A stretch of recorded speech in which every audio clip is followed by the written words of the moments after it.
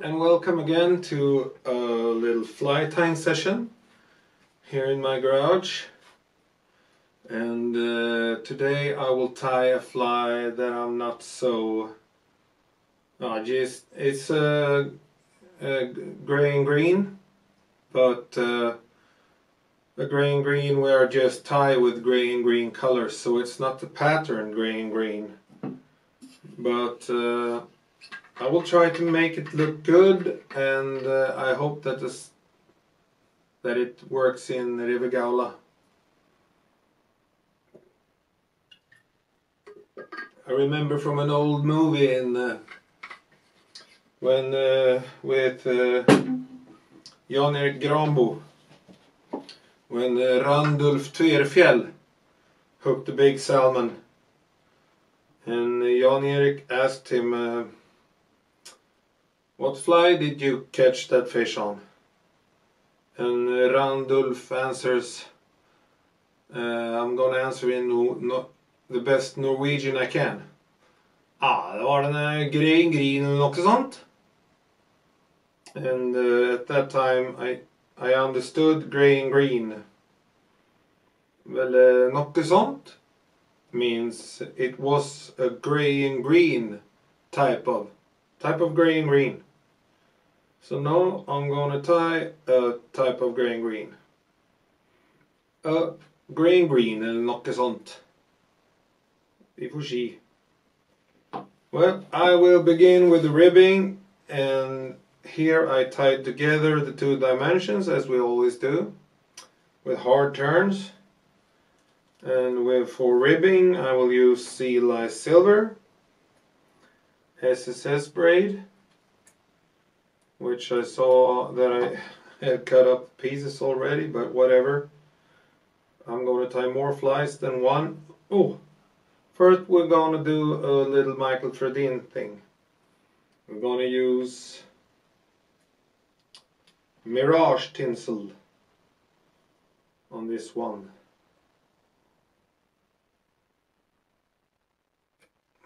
So let's start with attaching that one stop here and wind it on behind the thread. So no thread will be seen but I don't think that the white thread would be so much so visible underneath this. But it's as easy to do it this way as the other way so why not give it a clean clean look and we cut it off. And now we tie in the sea silver ribbing. Ribbing. I don't know how this fly will look when I'm done but I hope that it would look good and swim good and now for the body I use uh, uh, hot magma yellow.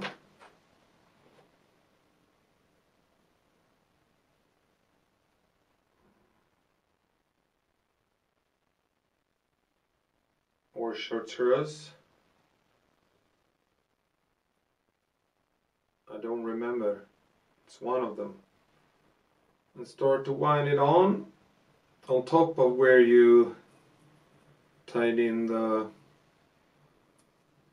mirage tinsel so we don't have any tying thread seen in this fly or on this fly. I wind it quite far but you don't have to do that. I just like it and then I fold it back and do a few more turns as always and then I start with my dubbing here so this will be covered up with dubbing. And uh, I will use uh, Greenlander Green, hot Greenlander Green. A little bunch.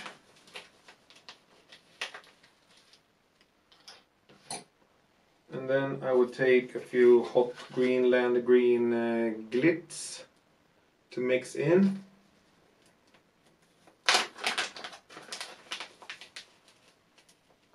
like this much. So maybe 70-30 with the regular dubbing and the glitz. And then I'll just mix it like this as you have seen before. This is something that you definitely don't have to do when you tie your flies but I think it looks good. If I only use glitz I think it's too much. And if I don't use uh, any glitz I think it's too little. So I mix mix them.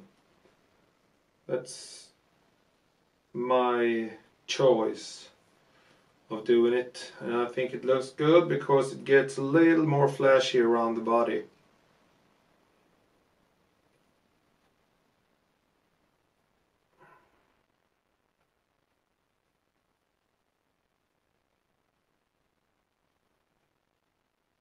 with some flash strands sticking out here and there. This will be good, I think.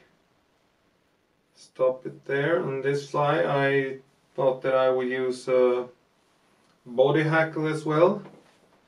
I don't do that very often, but I found a, a good looking one. So I will use that. Tie it in on my side pretty thick stem so quite a few turns instead of the five turns that I usually make. And then I'm going to do this exactly as Michael does that he makes one turn in front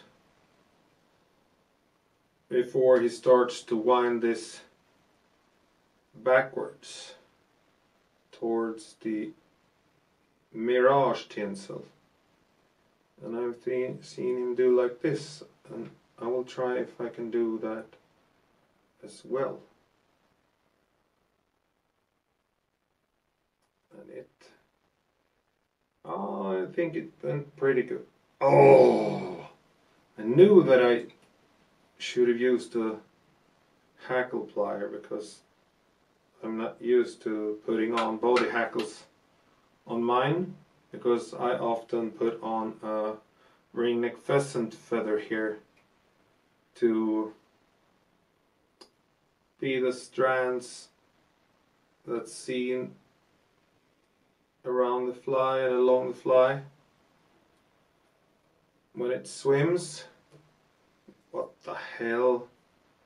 What the hell? I have one more nice feather like this one so I'll take it a little more easy this time. I have lots of feathers like these but they look like shit all of them so I was happy when I found one that looked really good. And now I get to use the benefits of uh, Fitt's new hackle plier. I can let it go, which helps me a lot because then I can spin on the ribbing without holding on to the hackle. And here I spin Sea Lice Silver ribbing and try to pinch down as few of the hackle strands as possible just working my way through here. Like that and then one more turn. And we are down where I want to be. And here we lock in the ribbing with a few turns. I went a little bit forward and then I wind it up so it gets flat here and then I fold it back and make a few more turns so it can't get loose. Cut away this piece, it's enough for a small fly and then cut away the tip of the body hackle. Uh, for being me I think it looks quite alright so far. Let's see how the, re the rest of the fly goes. And now I brush out this beautiful dubbing to mix with a hackle I just tied on.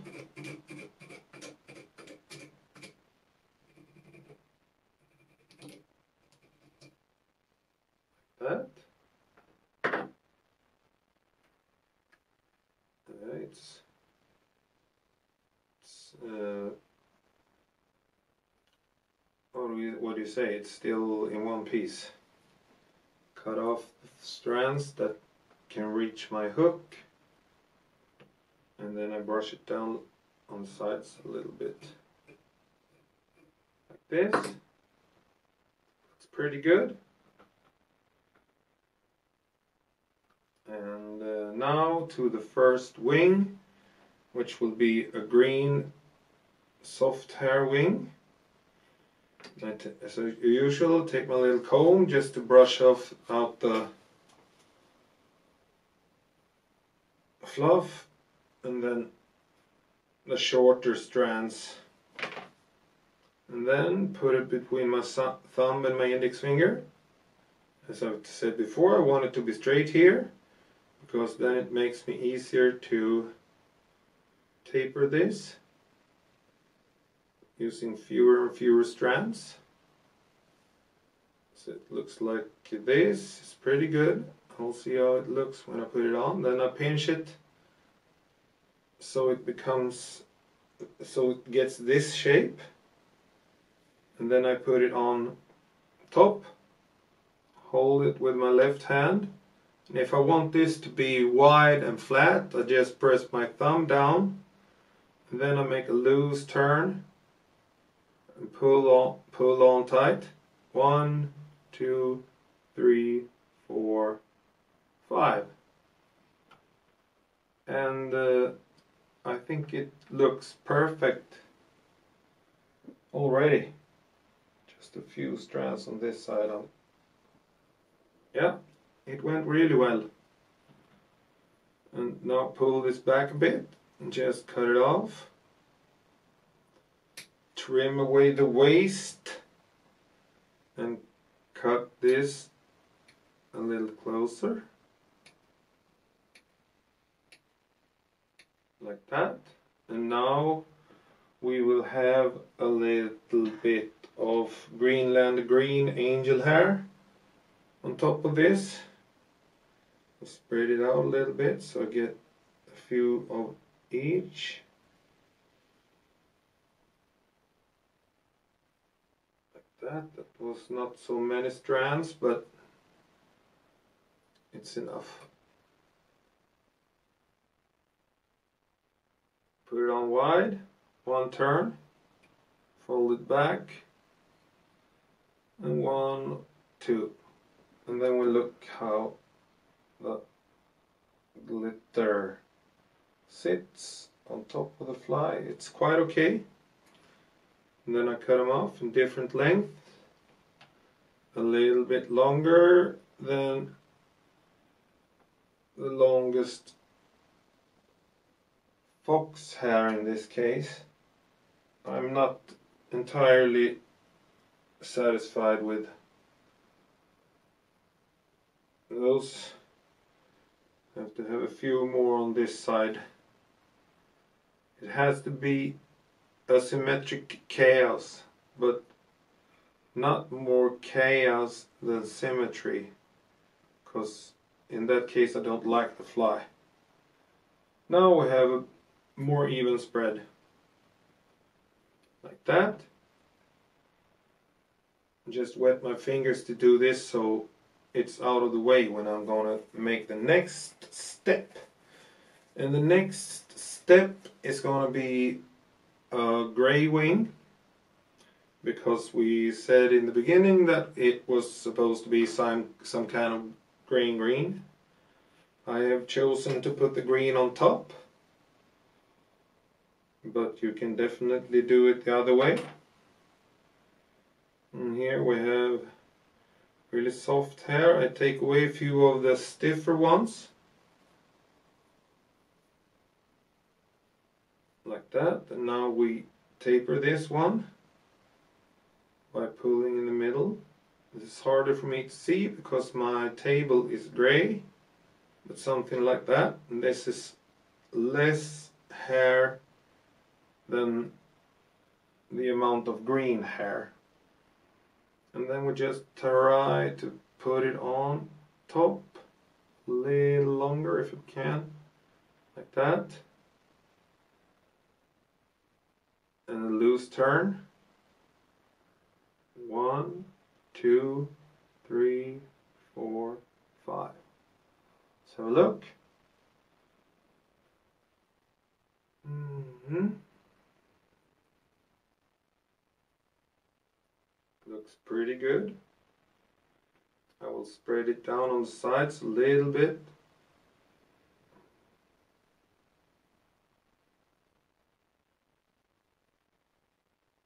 Like that. Looks better in my opinion. You can see a lot of green here and a lot of green on my side and then a gray top wing and on the gray top wing I will put some silver uh, silver angel hair so this fly can glitter when it swings by hopefully a fish that wants to take it. One turn fold it over try to make it wide. One two and have a look. These ones turned out a lot better the first time I tried and then cut them off in different length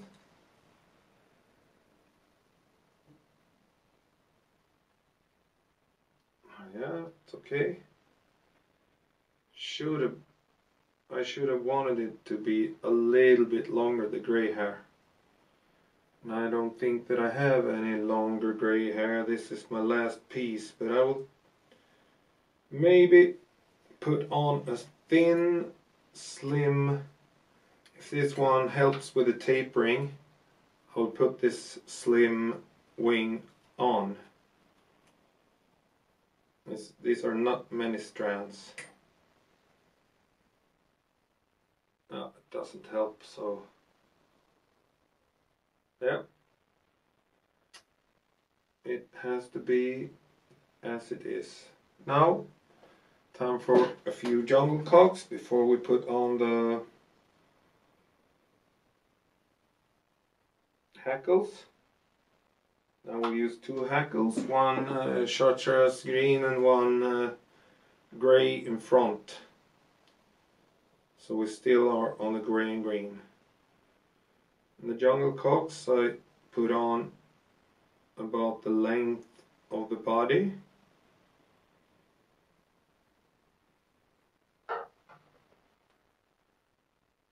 Curve them a little bit over my fingernail. And then start with the one on my side. I hope that it sits good when I'm ready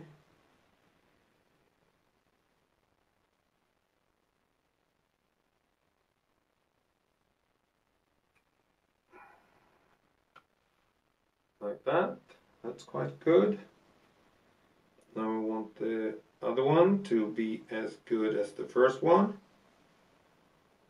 so we check the length and where we put the first one in length is good and I think it's positioned pretty good as well.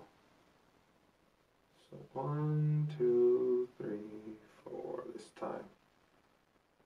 And look at it from the front. This one needs to go up a little bit. Otherwise, I think this will be good. So before I cut these off, I will use some glue if I can open this bottle person.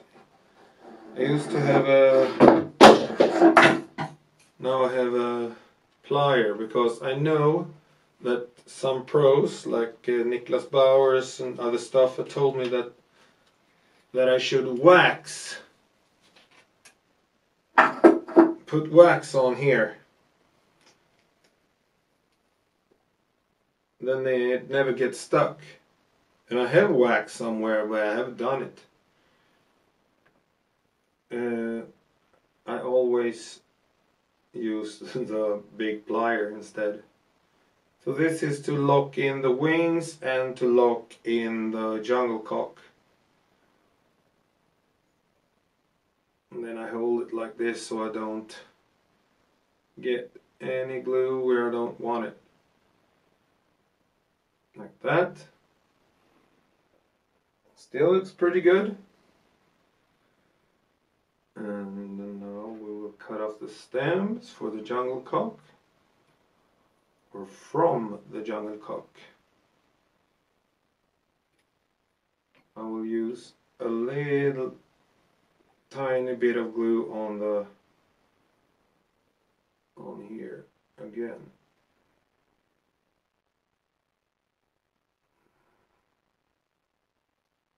Make it extra durable. If the fish like it. I don't want it to break. It looks pretty good so far.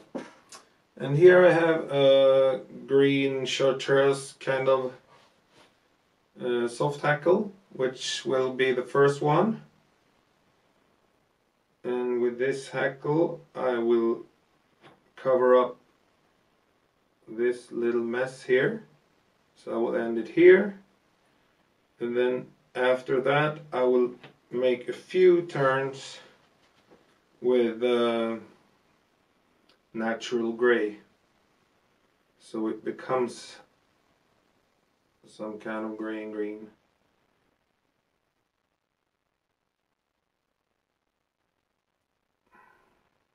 Hackle plier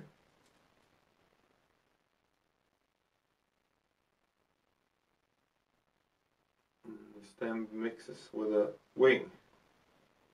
There we go. And then we make the first turn as close to the wings as possible, as we always do, to make it nice and tight and fat in the front. And then we work our way slowly forward. So the second turn is pretty close to the first one. And hold all the strands back to get them on one side of the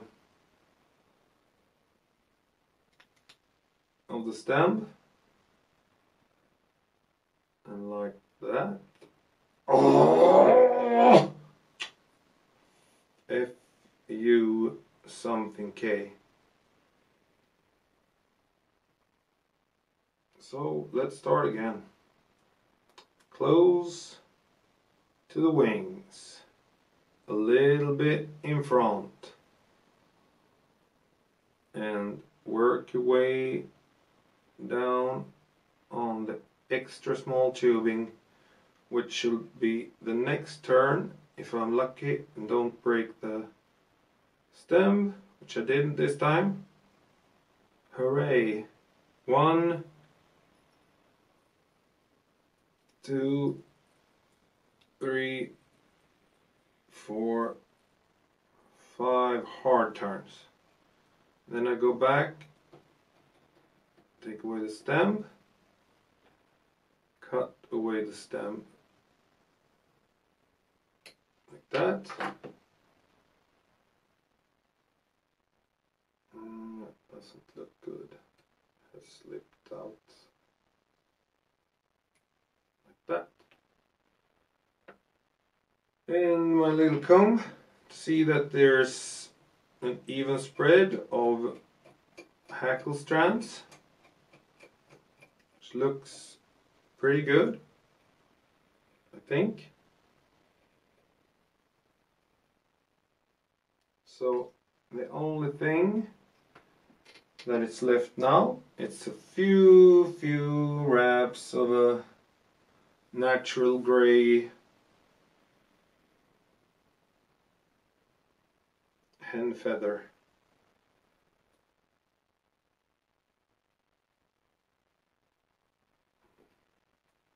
and then just a turbo cone head and we are done with this one which will hunt for salmon in River Gaula if the sun is out and the water clears up. This is the this is quite big for being a clear water fly, but it's fun to tie. And I have a few friends that are gonna start fishing in June and the, maybe uh, in the early June, and maybe the, some of them wants to try this one. Just one more little turn, and then we are done. I can't pull hard now because this stem is so thin that.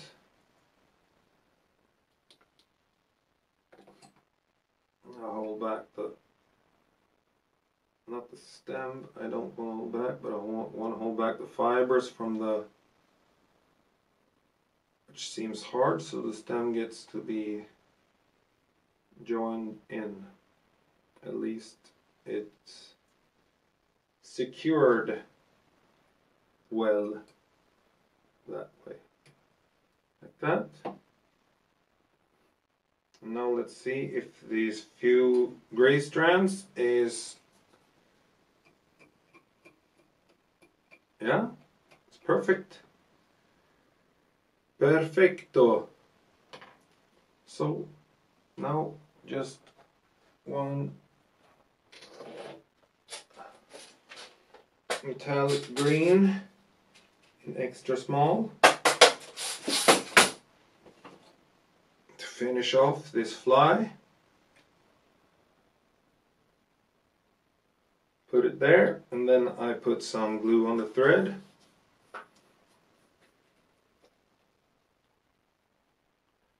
And wind it on.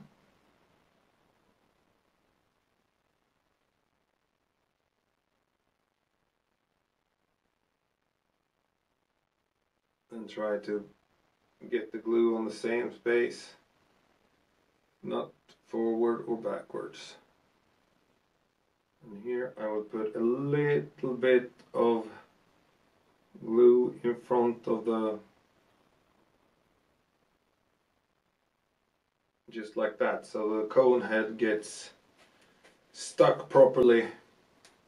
And then I will uh, melt it down of course. So here I push really hard with Niklas Bauer's pike tube which is perfect for this. It even works really well with the micro turbos. And uh, yeah it turned out okay. Take it out of the vise and I blow on the back to see that it's spread evenly. And I think it's yeah I think it looks quite good the spread. And with the body hackle and everything. So this one will definitely swim in the hunt for salmon in Norway. A lighter. I saved uh, two or three millimeters which I melt down slowly. Until it touches the cone because that helps with keeping the cone in in place. And I can't find my dubbing needle so I just put it on the thread like this and push it in so get a great hole.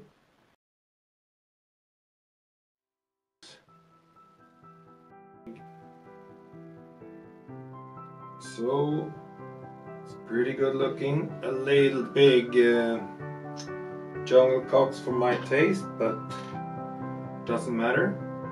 Here it is. Uh, quick gray and green colors are right, but I don't think it looks like the pattern green green.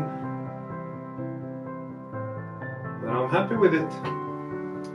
And thank you guys for watching. And if you want to subscribe, just hit uh, this button here. And if you want to look at some other of my films, just click uh, the film here. And I hope you subscribe, it would make me very happy. Thank you very much. Bye bye.